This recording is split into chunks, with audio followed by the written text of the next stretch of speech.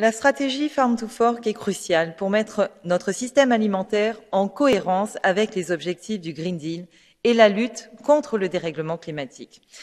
Cela passera nécessairement euh, par la fin de l'élevage industriel. L'élevage représente plus de 14% des émissions de gaz à effet de serre dans le monde selon la FAO. 40% des terres cultivées le sont pour nourrir le bétail.